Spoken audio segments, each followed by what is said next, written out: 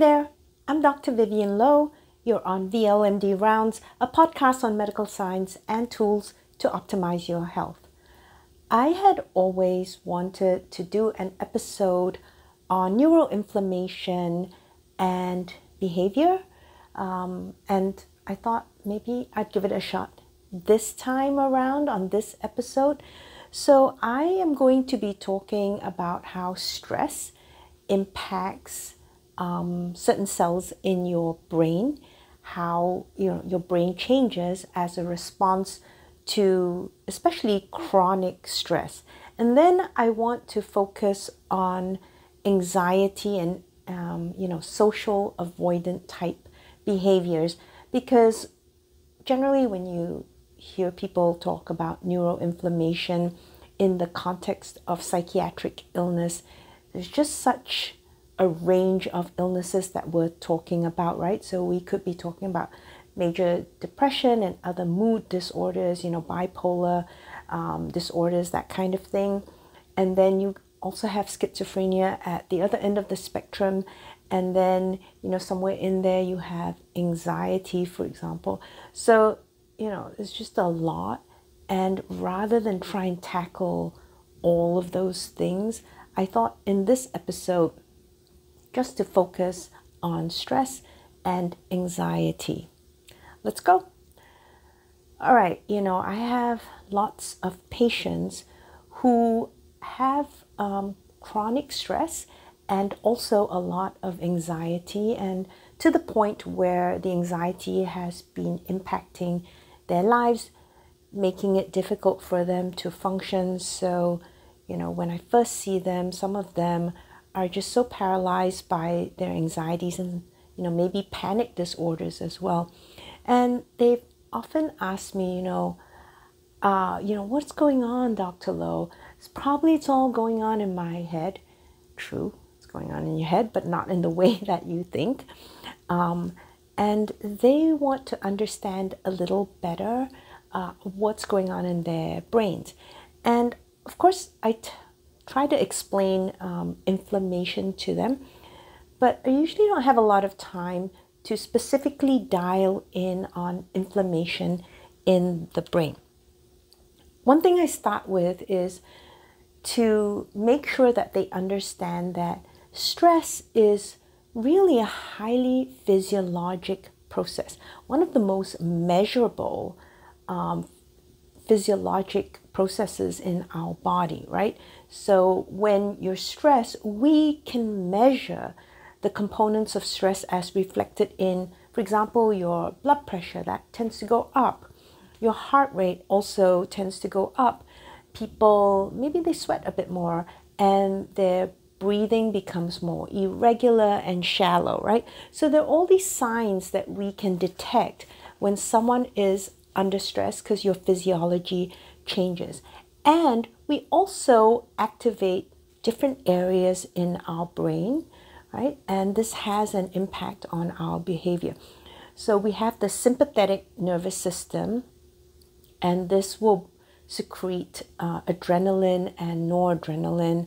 And also, we have different hormones, glucocorticoid hormones, that get into our bloodstream that become part of the stress response. Okay, we want to define the difference between acute stress, obviously, and chronic stress. So, acute stress is more of the one time um, stress events.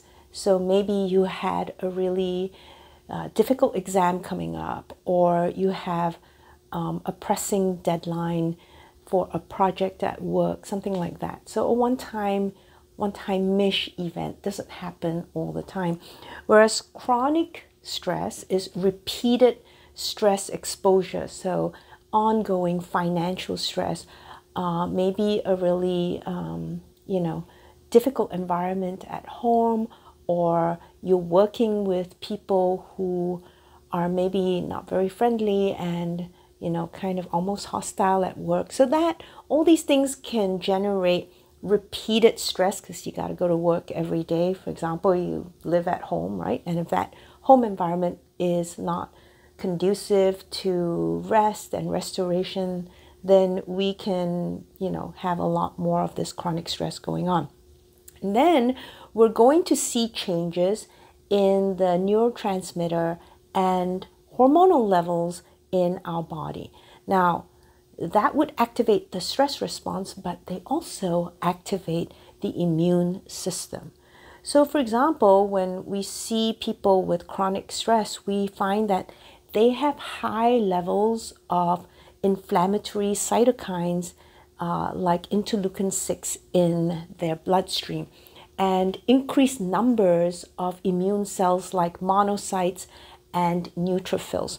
So, inflammatory cytokines, you'll hear me refer to them quite a bit in this episode, and they are basically substances that immune cells make and use to signal and talk to each other and to other cells in the body. Okay, so cytokines can signal obviously to other immune cells, but they also signal other cells in the body that are not traditionally part of the immune system. So, anytime you hear the word cytokine, we are talking about these signaling molecules. Often they are produced by these immune cells. So, with repeated stress exposure, as I said, we have high levels of interleukin 6, that's an inflammatory cytokine. We can see high levels of interleukin 1, also an inflammatory cytokine, tumor necrosis factor alpha, and so forth. All right, now with today's episode, I specifically want to focus on a population of immune cells in your brain, and these are called microglia. M I C R O G L I A, microglia. And these are really the only immune cells in the brain parenchyma. When you hear me say brain parenchyma, I mean the brain tissue itself, within the brain tissue. Because you know, we have other types of immune cells that can be associated with areas around the brain or near the brain and you know in, in, contact with the brain. But within the brain tissue itself really under normal circumstances the only immune cells there would be these microglia all right and these microglia are what we call tissue resident macrophages i've done a whole talk in the past on macrophages. If you type in the Magical Mystery Macrophage Tour on YouTube, you'll find that talk and you can access that. And I do, you know, talk about tissue resident macrophages there and, you know, where they reside in your body. But today we'll just focus on the ones in your brain, and these microglia are these tissue resident macrophages, which means that they developed from the embryo okay? The actually the yolk sac of the embryo. And then they very early in uh, the development of the embryo they seed different tissues in your body. They may seed you know the liver they seed the skin and so forth and they seed the brain. And um, these are distinct and different from macrophages that later come from your bone marrow all right. So it's very important when you think about immune cells to think about their lineage and where they come from. And with tissue resident macrophages, again, they developed from the embryo, from the embryonic yolk sac. And very early in development, they seeded the tissue, including the brain. So when we look at these tissue resident macrophages, the microglia in the brain, for example, we think of immune cells as generally having, you know, an inflammatory function, right? So when you get an infection, they get revved up to defend your body against the infection. But these tissue resident macrophages, the microglia in your brain, also have homeostatic function. And by that, I mean housekeeping function. So they go around and they clean up the junk in your brain. Now, some of us maybe didn't get as much cleanup as we would like, right? Um, but, you know, we all know some people that we're thinking of in that category, but we can be kind and compassionate and just realize that maybe their microglia weren't working as well. Okay, nonetheless, they have this homeostatic function, so they clean up the junk that accumulates in your brain. They clean up dying cells, right? They kind of mop up debris if if there's been some damage to certain cells, and they kind of keep the brain environment clean and you know sort of healthy for the other cells in the brain and they are also self-renewing. So in order to regenerate and to repopulate they're not going to rely on the bone marrow within their own um, cell line. They're going to renew themselves okay? So that's the important thing about the microglia because they are keeping your brain and all the cells in the brain in a healthy state. You can think of it as um, kind of like a an aunt or an uncle that likes to clean up. You ever see those kinds of people? They like arrive at someone else's house and they immediately start straightening things out, and you know they're they're rearranging things and throwing things out, and then they want to know, oh, what's your neighbor doing? Oh, who's that across the street, right?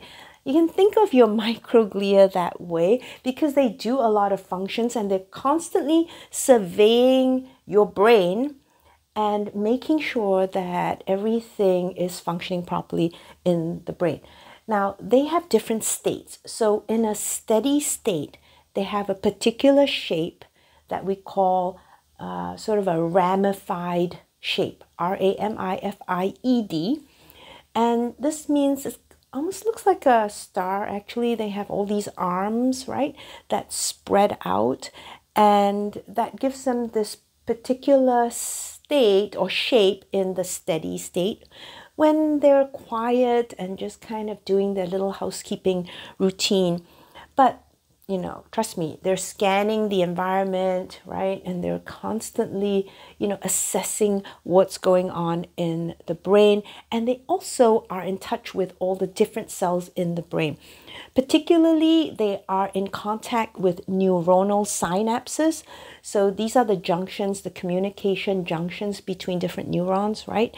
And so the microglia are in contact with those junctions and they prune these junctions because you know a neuron can have many synaptic junctions.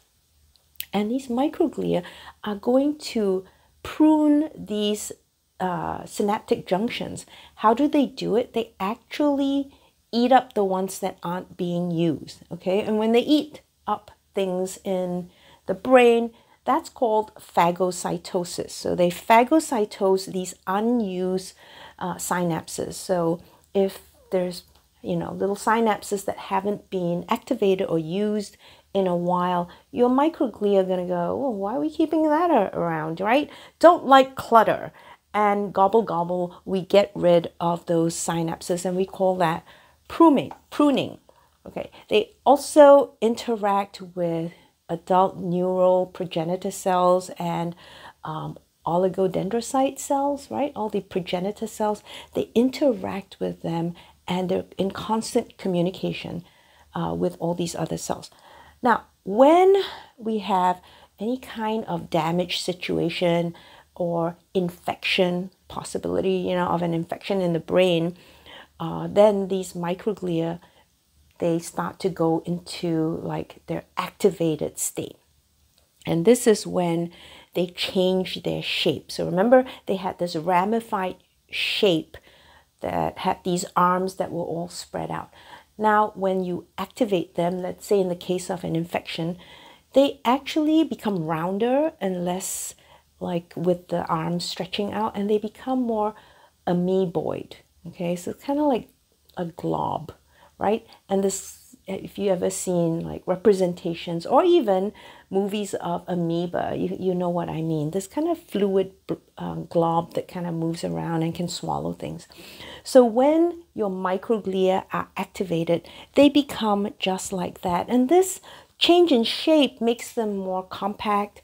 And we think maybe that's, you know, facilitating travel, right? So they can move to areas of the brain where they can, you know, deal with the pathogen with the bug that's invading the brain, for example. And then they can also phagocytose or eat up any foreign material, any debris that they may find in the way.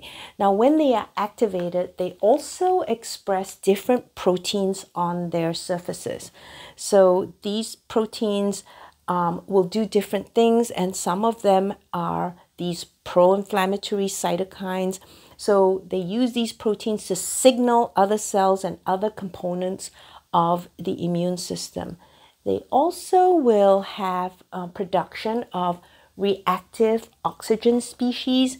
And these are actually free radicals. These are, you know, substances that are very volatile and can be very destructive. Now, why would they do that? Because if we generate these reactive oxygen species and they are very destructive, we can use them as weapons against any foreign invader, right? So we can destroy the bacteria, for example, that might be invading the brain. So we think of the activated state as a pro-inflammatory state. But I want to remind you that, you know, again, microglia, macrophages in general, but microglia are very complex. So they're not just going to be one thing, right? A, lot of times when we talk about macrophages and microglia, we talk about M1 polarization and M2 polarization. And when people say that, the M1 is supposed to be the inflammatory state, and the M2 is supposed to be the anti inflammatory state. Um, but it's actually not like that in real life. We just use it to think about these uh, immune cells in a conceptual way, but they're constantly expressing proteins that and and and uh, substances that can be inflammatory on the one hand and also anti-inflammatory because while they are dealing with the foreign material in your brain or you know the pathogen that's attacking your brain while they're doing their defense sort of jobs there, they're also still trying to keep the brain healthy and clean up the brain, right? So you're going to see them have these anti inflammatory factors uh, being secreted, growth factors, and this is very important for healing of damaged tissue. So while they're defending you, they're also trying to help you heal, which is remarkable, right? So we should always remember that it's never one or the other, it's always way more uh, complex than that. Now, the microglia also have receptors for neuronal ligands, and this would be receptors that generally tend to be inhibitory, right? And they have names like CX3CR1 or CD200R. Don't worry about the names, but they have these receptors that can bind to healthy neuronal surfaces. And what that happens, what happens then is when they're bound to these neuronal surfaces, then it keeps the microglia in that quiet, steady state and it prevents them from being activated, right? So, in a healthy state, when they have this type of binding to uh, neurons, it, it you know, all is well and they stay in that you know generally quiet state. Now something can come about to disrupt that. So let's think about what happens when we are subjected to stress okay? Here in this case let's just use an acute stress model because it's just easy right now. Uh, i always use the saber-tooth tiger. I don't know why I just like saying saber-tooth tiger. I like the word saber. And that's probably why I always say saber-tooth tiger. Anyway, say you meet a saber-tooth tiger and that I think for most people would be a stressful situation, right? And the limbic system in your brain is going to be activated. So that would include parts of the brain like the amygdala, the prefrontal cortex, the hippocampus, the hypothalamus, right? And these areas of your brain are really going to be activated under that stress of meeting the saber-tooth tiger and we're going to activate your sympathetic nervous system right? And when we do that we're going to stimulate the adrenal glands. These are little glands that sit on top of your kidneys. And the uh, part of the adrenal gland that's called the adrenal medulla is going to secrete noradrenaline or adrenaline. Okay other names for those substances are norepinephrine or epinephrine. Okay, so sometimes you hear epinephrine, and that's the same as adrenaline. Sometimes you hear norepinephrine, and that's noradrenaline. Okay, so we secrete those substances into the bloodstream, and then you're going to raise your blood pressure, and then we're going to have increased heart rate and so forth. Right, to help you deal with the stress. Either you're going to fight the saber-tooth tiger, so you know, you're going to need that extra energy boost for that. Or, you know, running away will require an energy boost too because you hope to win that race, right? Between you and the saber-tooth tiger. So you're going into a massive sprint. All right. You also activate the HPA, which is the hypothalamic pituitary axis okay and what happens is generally i don't want to go in depth but specific areas of your brain are activated and they secrete substances that promote the secretion of glucocorticoid hormones from the cortex, different part of the adrenal gland. All right.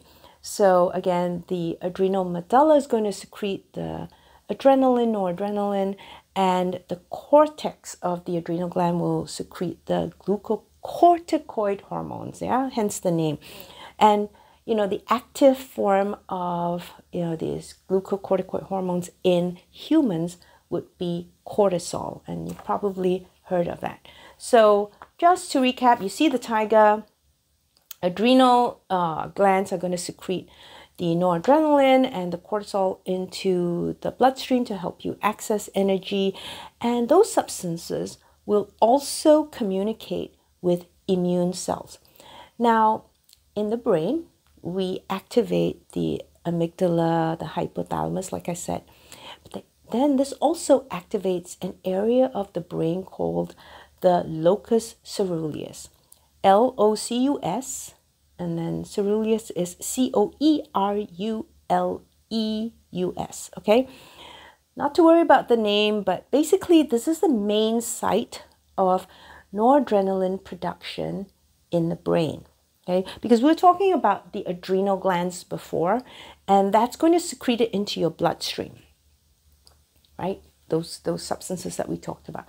But here, we're talking about the noradrenaline being secreted within an area of the brain, and because the locus coeruleus has uh, catecholaminergic axons, you know, uh, branches of the neurons going to many areas of the brain, then we're actually going to be flooding those areas uh, with noradrenaline during the stressful episode. Okay, so as I said, we have a peripheral response, right, in the bloodstream, but in the brain, we also have a sympathetic response with surge of adrenaline within the brain. Now, in vivo, we found that when you stimulate these beta adrenergic receptors, these are receptors that respond to the noradrenaline, right? You stimulate the beta adrenergic uh, receptors um, in the um, stressful events, and we get increase in neuroinflammation. And how do we know? Well, we see an increase in an inflammatory cytokine called interleukin 1 beta in the brain. Right? We see that surge when we see that we activate the beta adrenergic uh, system.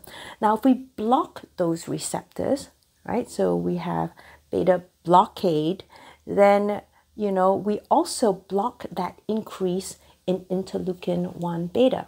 So if you block it, you actually don't see the surge in interleukin 1 beta, which is an inflammatory cytokine.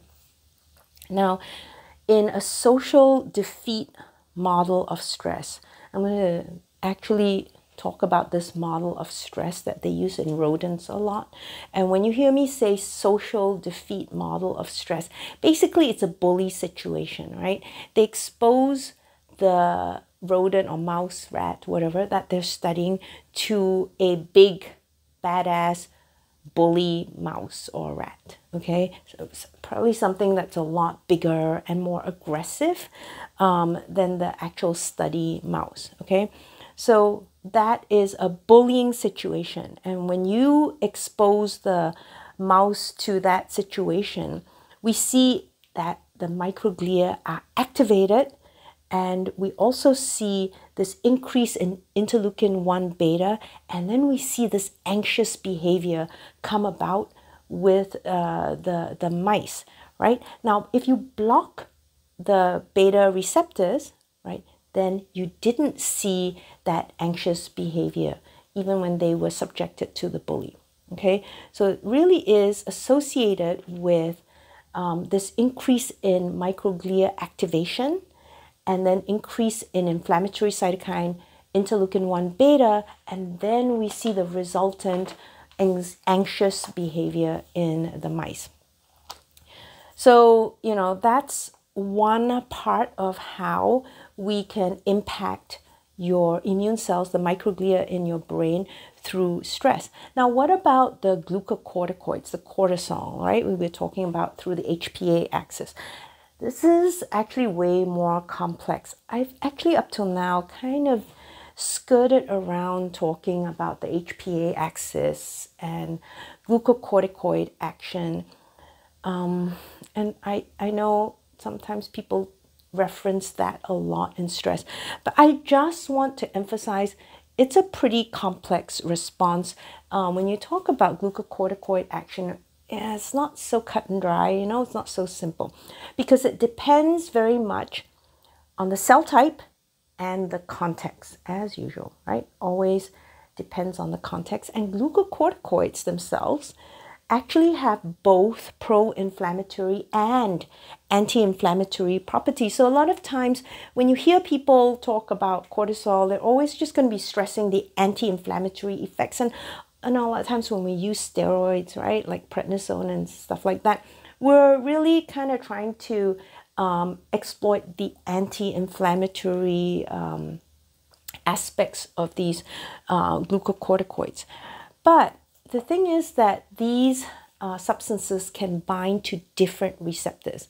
And primarily, we have the mineralocorticoid receptor and the glucocorticoid receptor. These two different types of receptors that your cortisol can bind to. Now, you can think of the mineralocorticoid receptor it's quite a mouthful, but generally, or you can in your head think about it as MR, both in caps, right? Mineralocorticoid receptor that's pretty inflammatory when activated. Okay, so you can think of that as an inflammatory response. But when we bind the glucocorticoid receptor, we can then generally see more of an anti inflammatory effect. Now, complicating this further is that different tissues in your body may have enzymes that can inactivate cortisol, right? And when that happens and we have exposure to those enzymes that inactivate the cortisol in that tissue, then you're in those tissue, you're going to see more mineralocorticoid action, right? And therefore more of an inflammatory action, right? So it's not just that, oh, you know, cortisol does this, it's anti-inflammatory. It depends on the type of receptor that it binds to it depends on whether different tissues have enzymes that will kind of shut down or inactivate the cortisol. And then we have promotion of more of the mineralocorticoid action which is more pro-inflammatory. And it depends on the concentration of the glucocorticoids as well. So generally when we have low to sort of moderate levels of cortisol they're going to bind to the mineralocorticoid receptor and we see more expression of pro-inflammatory uh, types of effects. in high concentrations, the glucocorticoids tend to bind to the glucocorticoid receptor, GRs, and there we see more anti inflammatory effects. And this is also sex dependent, right? Differences between men and women because of the influence of estrogen binding, right? So, as you can see, it's not as simple. That's why I've generally kind of skirted around the issue of the HPA axis um, because sometimes people just make it very simplistic, um, but it really is a very complex system. There is more anti inflammatory effect generally with microglial glucocorticoid receptor activation in the steady state. Okay, so in the steady state, when we have these quiescent, well behaved, uh, hardworking little microglia that are just kind of cleaning uh, the brain debris and taking care of housekeeping duties, then we actually have more of an anti inflammatory effect with the glucocorticoid signaling. And when you have stress, what did we say? We can have an increase in cortisol, right? Now, this high dose cortisol uh, will also give an anti inflammatory effect. But, but, yes, there's always a but. At the same time, and that's why this is complex, at the same time, we're going to prime the immune system for future stress events, right? And what we do is we at the same time are going to sensitize the microglia to uh, stresses, such as, let's say, LPS, like, and that's an endotoxin from bacteria. Okay, so that's pretty stressful for your brain to get some kind of toxin from bacteria, right? So if you have high levels of glucocorticoid floating around your brain, yes, it has a nice anti-inflammatory effect. But at the same time, it can also prime those same microglia to towards future stress events, sensitize them so that when, let's say, you expose them to the stress again, in this case, let's say that endotoxin from the bacteria, they have an exaggerated cytokine response. You know, sometimes people talk about cytokine storm, right? Very dramatic. But, um, you know, you could think of it that way where now we're hypersensitive and we just have this huge surge of cytokines at this second stressful event and also other subsequent stress events. All right, when we have a model of chronic unpredictable or um, stress in rodent models, that's a pretty like rough model on the rodents, I think, you know. So when they use this chronic unpredictable stress model on rodents, essentially, you know, for weeks on end, they kind of really just give the rodents a really hard time. So for example, they'll tilt the cage suddenly or shake the cage or they'll make loud noises.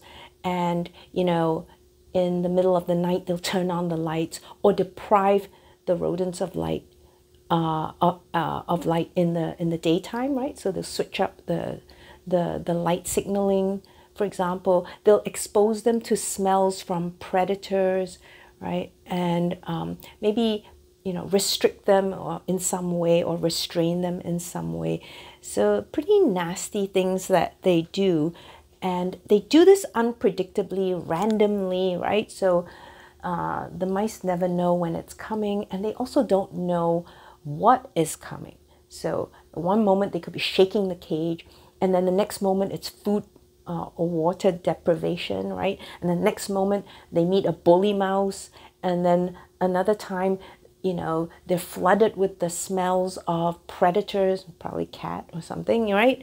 So that's, as you can tell, pretty stressful for the mice. Well, they used in this experiment um, female mice, and what they did was they subjected them to this chronic unpredictable stress.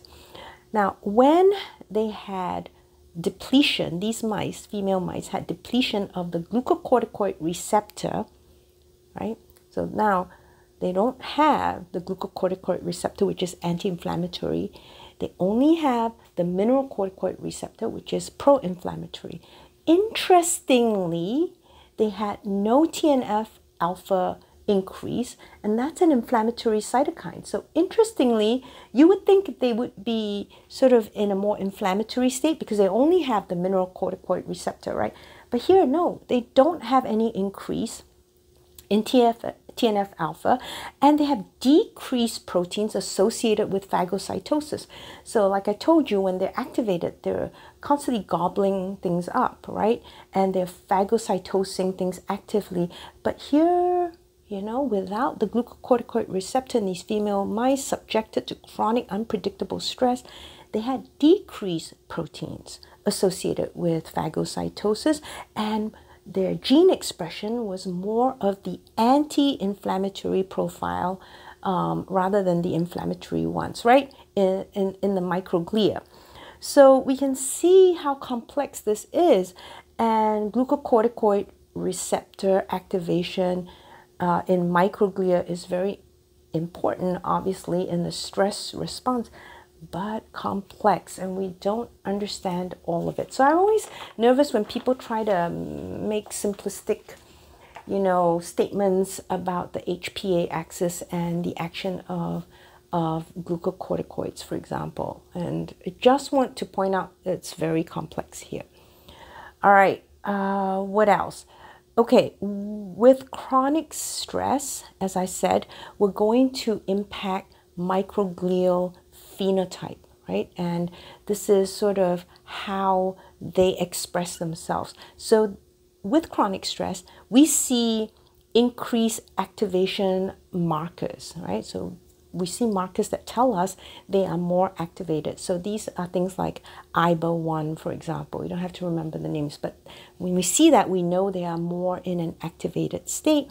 We also see increase in a protein called CD86 that is required for T cell activation. You don't have T cells in the brain really, not in the brain tissue really, but we start to see expression of this and it's like it's changing it. The microglia are changing their profile and then you can see them actually becoming more phagocytic, right? So again, they are going to be more amoeboid and then start to gobble things up.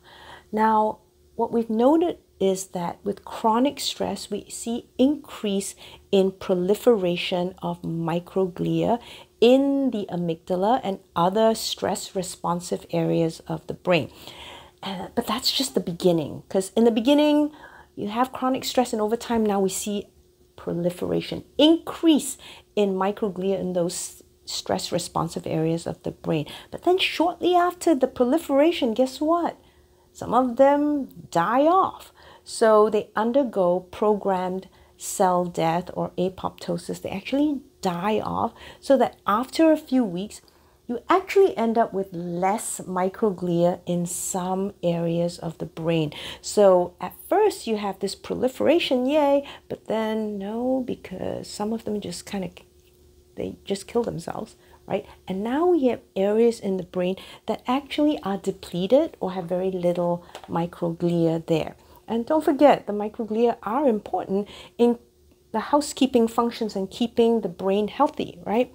So chronic stress primes the microglia to have a more inflammatory uh, profile, but also later they have an exaggerated response, as I said earlier, to other stresses like endotoxin. And when we look at again the social defeat model where we expose the mouse uh, to a bully mouse, right, we see this increase in the pro inflammatory cytokines for up to 24 days after the last bully event.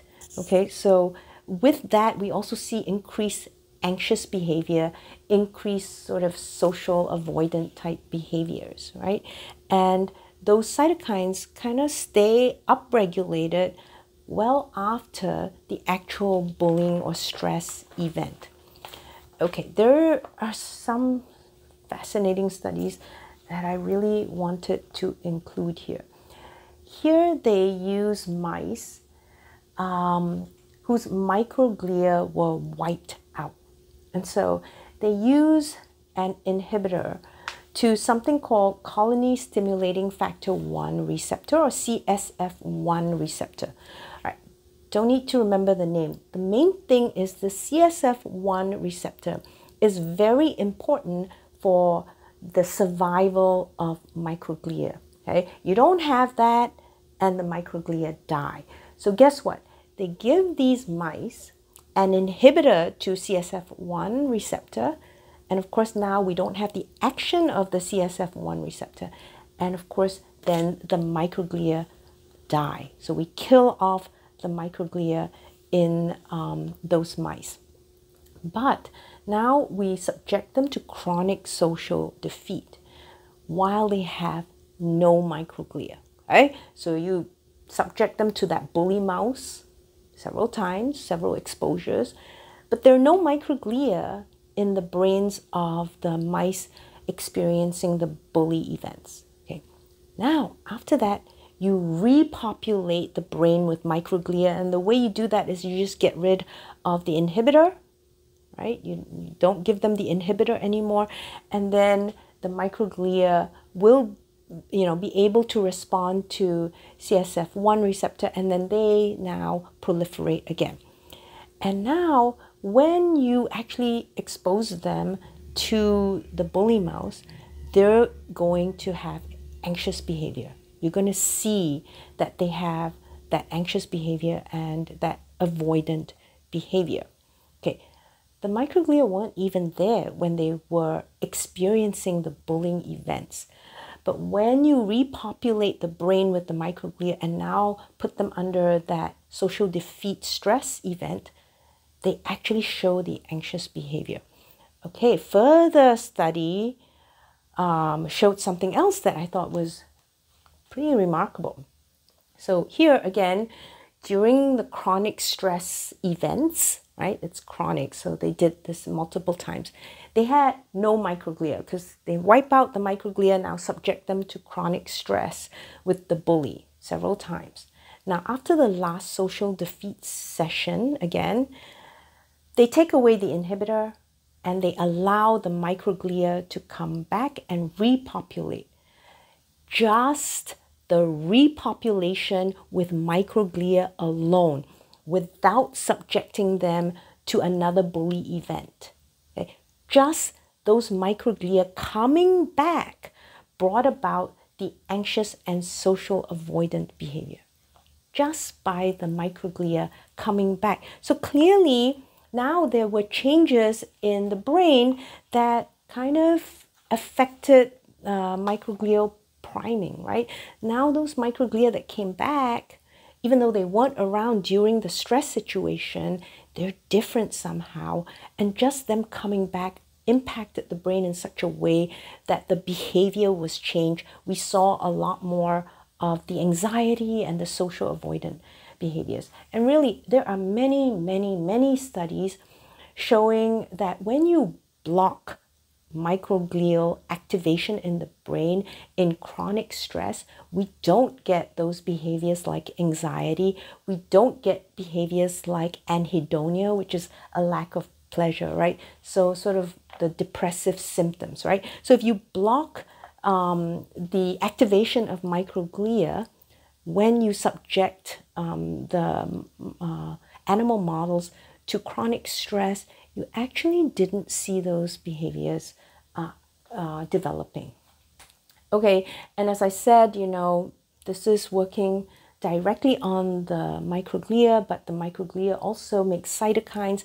Those cytokines impact different populations of cells in the brain and in, impact inflammation in general in the brain, the reactive oxygen species that I talked about, right? This enhanced phagocytosis pruning, so the gobbling up all these different synaptic junctions, right? And all of this is going to impact how the brain is sort of reshaped after uh, a stress event.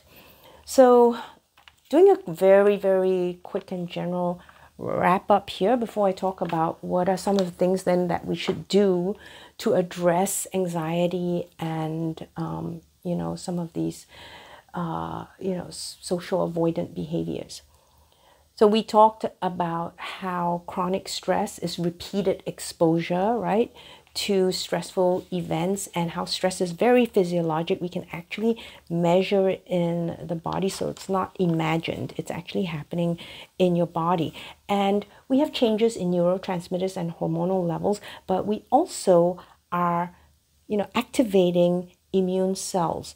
And we see this by different cytokines being produced by those cells in your body. Now, in the brain specifically, we talk about the immune cell in the brain tissue, and that would be the microglia. And in general, because they are tissue resident macrophages, they are there for housekeeping purposes, right?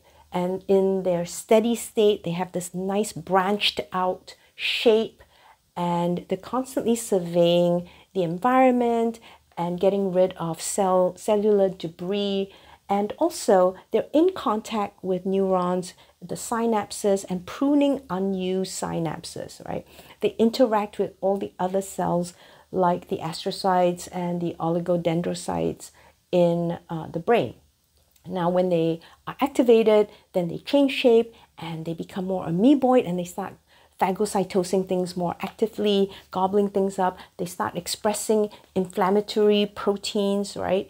And they signal other cells, other inflammatory cells uh, to to kind of aggregate closer to the brain. And they also make a lot of these uh, very, you know, volatile uh, destructive substances called reactive oxygen species. But at the same time, they are also expressing some anti-inflammatory factors to you know help with regeneration and healing. And um, you know, so there's a complex reaction there. And we talked about how stress activates the uh, sympathetic nervous system, and we have some adrenaline or adrenaline floating in your bloodstream from the adrenal glands, and we also activate the secretion of cortisol from your adrenal glands, right?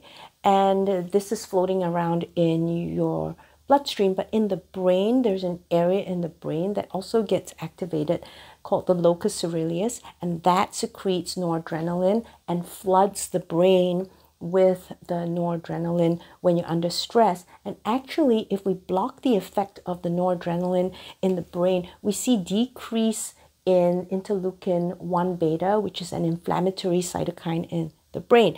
And also, we can also see that you don't have anxious behavior developing in animal models that have, uh, you know, had uh, blockade of those uh, sympathetic um, uh, receptors in the brain, right? So that's one aspect of how you know those uh, those neurotransmitters can impact the brain. Now, we then looked at the glucocorticoids. I talked about cortisol. That's very complex.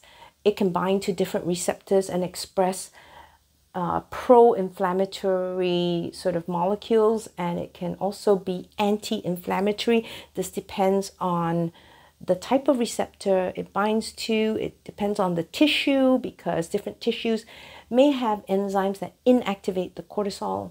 And then it depends on the concentration of cortisol. It depends on whether you're male or female, right? So it's complex uh, reaction, but we know here that we do generally have in the brain more of an anti-inflammatory effect of the cortisol on um, the glucocorticoid receptors in the microglia, right? And when we under stress, we have these uh, cortisol levels go very high, and that keeps that anti-inflammatory environment to control the inflammation. That's really important but it can also prime the microglia to be more reactive in the future to future stress events.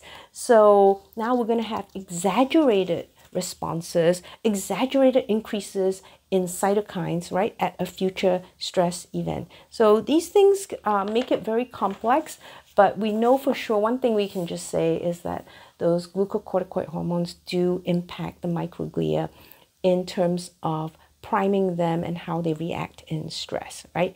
And those microglia change shape, they change uh, the proteins that they express, and once they've been uh, subjected to stress, right, um, and especially chronic repeated stress over time, they are primed. And by that, they kind of are hypersensitive again.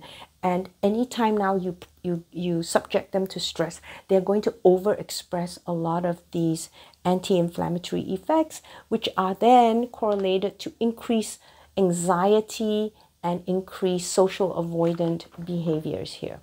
And even when you wipe out the microglia and you think, okay, maybe now we won't have any of those behaviors developing, when you actually allow the microglia to repopulate and then subject those animal models to stress again, we see actually an exaggerated response and those animals become anxious. And we don't even have to subject them to a stressful event. Just letting the microglia that had been depleted come back and repopulate the brain already brought about and induced anxious behavior in the animal models. Okay, so just that alone, the microglia being present was enough in that case.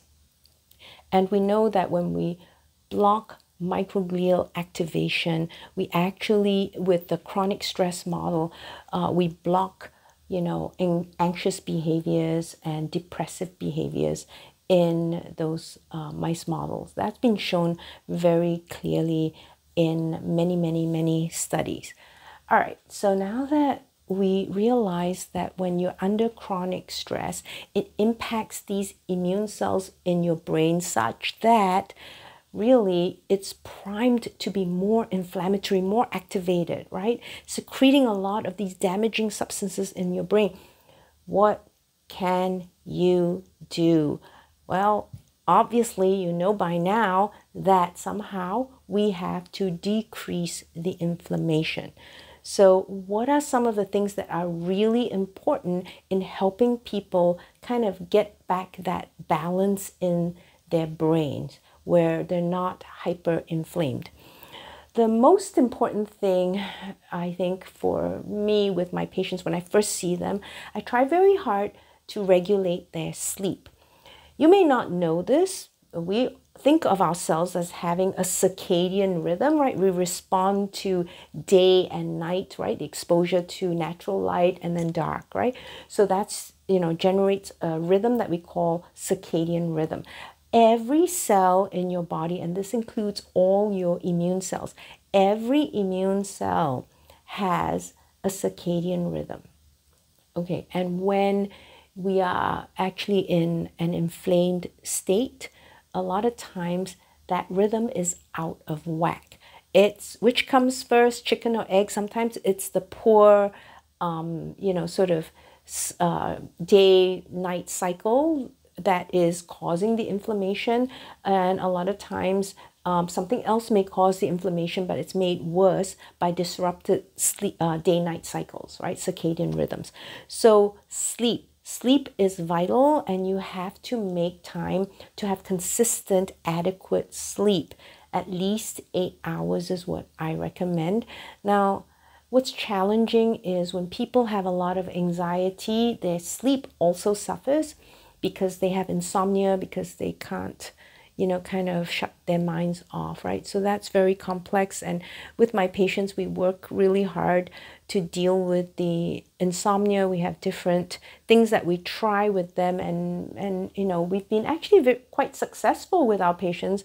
And most people have much improved sleep, uh, and the insomnia is uh, is gone, right? But it takes time and it takes uh, you know, really patience and practice. But you absolutely have to at least prioritize fixed sleep and wake times, regular, consistent sleep without changes in circadian rhythm. I don't like it when people switch up their sleep times over the weekend because you can think of that as crossing different time zones, right? And that impacts your body. And if you have neuroinflammation, you just want to make sure the conditions are prime for your brain to rest and to heal. All right, nutrition, because there are lots of inflammatory diets out there. You know, that high sugar, processed foods, all of these things, you know, a lot of seed oils, these are highly inflammatory for your brain. And it causes leakiness at the blood brain barrier, for example. So, more of the inflammatory cytokines from the periphery can get into the brain, for example, right? So, if you don't prioritize nutrition, then we're really not going to impact you know, or help the inflammation in the brain. So, getting uh, control and taking charge of the uh, diet is very important. Exercise is really important as well, right? Because exercise too can help people with stress management and really um, a lot of patients also sleep better when they've had sufficient good exercise. Um, it's it's it's really you know uh, one of the most valuable things for management of stress. I want to add in here that you have to pay attention to your metabolic health because We've seen time and time again that increased dysfunctional fat, a lot of that visceral fat, right? So even if you look thin, you may have normal weight obesity if you have a lot of the dysfunctional fat. And this is well known. When you have a lot of dysfunctional fat, you have chronic inflammation. Right, throughout your whole body, and that is going to impact your brain as well, and it's going to impact the microglia in your brain, and this can change your behaviors that way. People don't think about metabolic health and their behaviors, right? But really, your metabolic health impacts really all aspects of your health, including your mental health, including your behaviors. And of course, we have to talk about behavioral change. So, with my patients, we really work very hard. We spend a lot of time working with them on, you know, kind of uh, reframing identifying their ants, uh, what we call ants or automatic negative thoughts, right? Because if you have constant automatic negative thoughts, that is a source of constant repeated stress on you, right? And that can bring about changes in your brain in the microglia that can bring about anxiety. So, working with our patients, uh, using meditation, using breathing techniques to calm them down, right? Um, addressing some of their cognitive distortions so that they're able to process more how their thoughts are impacting their their emotions right? These things are really really important. So you know when people talk about mental health what we don't really recognize or maybe emphasize enough is you just cannot separate it out right because you're an integrated whole. And when you talk about mental health, you have to address your general health. And you can see now uh, how inflammation impacts your behavior and your mental health. If you're not getting rid of the inflammation by taking care of your metabolic health, then we're really not significantly going to really address the behaviors. Okay. So, uh, uh, like I said, sleep very important. Nutrition, exercise, and behavioral change. Uh, getting rid of ants, auto, automatic negative thoughts, reframing, all those things. Yeah, and it's a lot to do. Um, you know, we certainly have worked with patients and been very successful in helping them change their behaviors. And if you need help or you want help from us, then do reach out. Um, you can go to tulaversity.com, and that's spelled T U L A V E R S I T Y dot com tulaversity.com and that's where you can find a complete behavior change and lifestyle change program that I developed to help people achieve metabolic health okay so check that out, tulaversity.com. You can also, I hope you do, come attend some of my live Q&As. I usually put up the dates on my website, vyvyanelohmd.com, V-Y-V-Y-A-N-E-L-O-H-M-D.com. So you can come if you have questions, maybe there's something that was unclear to you, or you want to share part of your metabolic health journey. Uh, do attend one of the live Q&A sessions. I'd love to meet you and chat with you. Okay, I hope you learned a lot uh, about microglia and also neuroinflammation and how that is linked to your behaviors, to anxiety, to avoidant behaviors, for example. I hope it was helpful for you. um, signing out now from VLMD Rounds. I'm Dr. Vyvyane Loh, and I sing the body electric. Have a good week. Bye.